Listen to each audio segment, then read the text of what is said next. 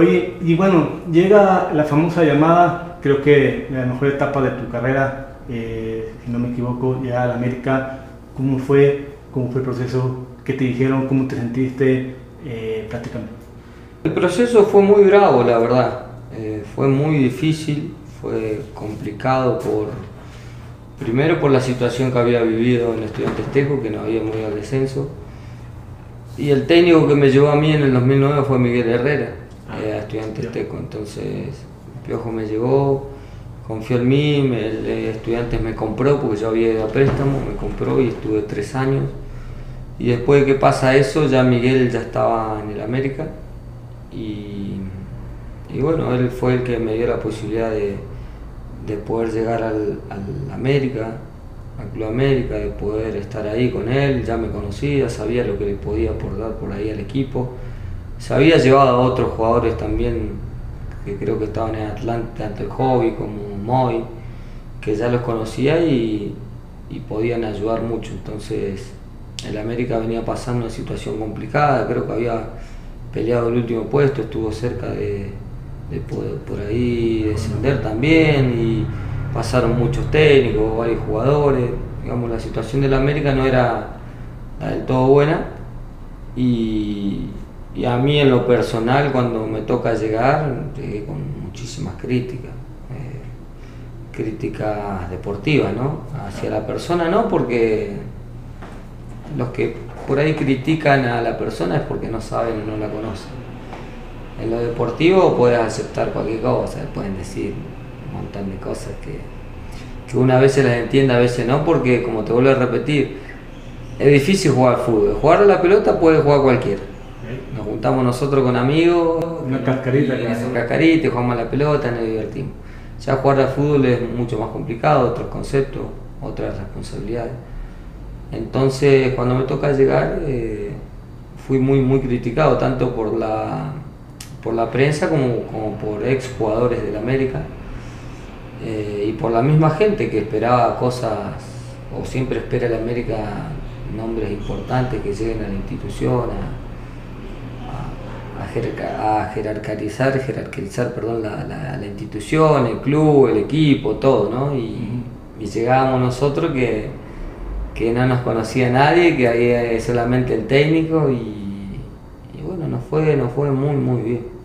¿Cómo, cómo llevas esa parte de, la, de todas las críticas de, de, esos comentarios? ¿Cómo lo, ¿Cómo lo trabajas tú? ¿Lo lees, no lo lees? ¿Cómo, no, trato de no darle mucha importancia. Eh, te vuelvo a repetir, yo salí de River Plate, entonces el club de River es constantemente también eh, está en boca de todos, está en boca de, los periodistas, de la gente, de otros jugadores. Y yo salí con él de ahí y ya por ahí ya sabía de lo que se trataba.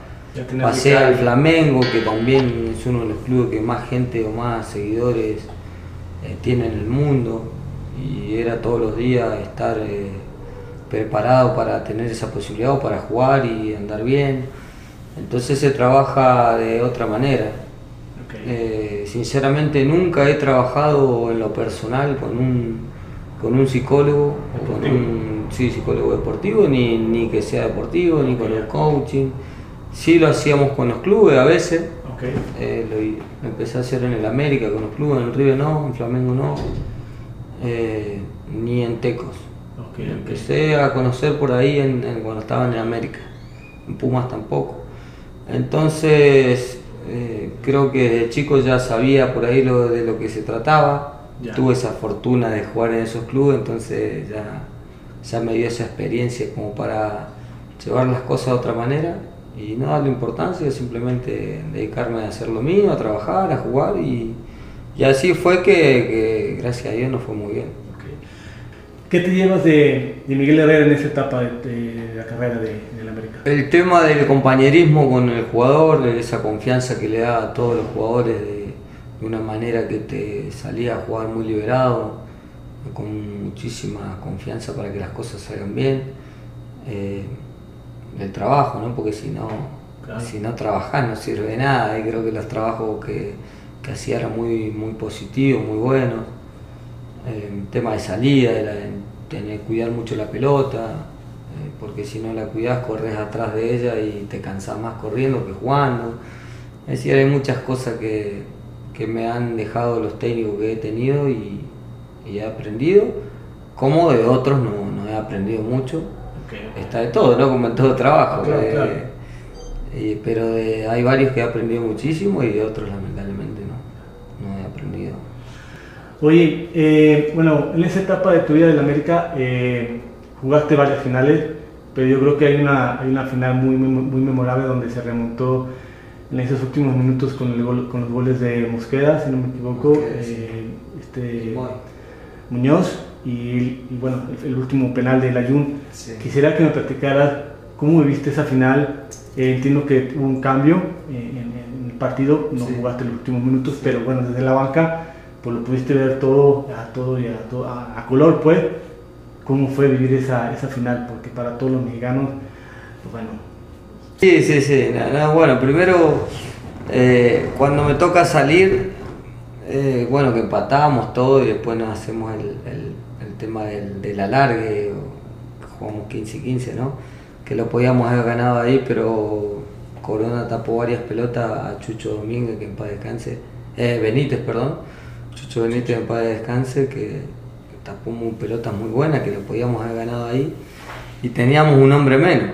Entonces cuando me toca salir de cambio, yo, uy, no, ya estaba que el partido estaba ahí como para los penales, eh, ninguno de los dos ya como que atacaba, estábamos cuidando el resultado y, y nada, en la banca se vive totalmente diferente a lo que se puede sentir ahí en el campo de juego cuando vas de titular, es decir, eh, la adrenalina es otra, eh, la emoción, el nervio, cambia todo, cambia todo, que cuando estás en la cancha, viste, vos sabés lo que haces, sabés lo que podés hacer, ves al compañero, te, te entendés y en la banca, viste, no, no puede hacer nada, muy tenso, sí, muchísima tensión y, y bueno, se dio esa, una de esas finales tan épicas, tan memorables para, no para el- no solamente para los americanistas y, los de- y la gente de Cruz Azul, sino para el fútbol mexicano en sí, porque no había pasado eh, que llegue a esa instancia el partido y fue una locura, ¿eh? sí, prácticamente estaba cerrado como para el Cruz Azul y, y se empata al final y después por penal, es decir, con una lluvia torrencial. Es decir, fueron muchos factores que, que sí quedan en el recuerdo muy lindo. Y tú, tú viste esos festejos del Piojo Herrera que fam- la famosa Sí, que siguen saliendo por ahí los festejos de, de que se transformaba. eh, pero bueno, es lo que te digo, imagínate que nosotros lo vivimos con una, con una intensidad, una tensión muy grande, imagínate los técnicos, ¿no? Que, claro.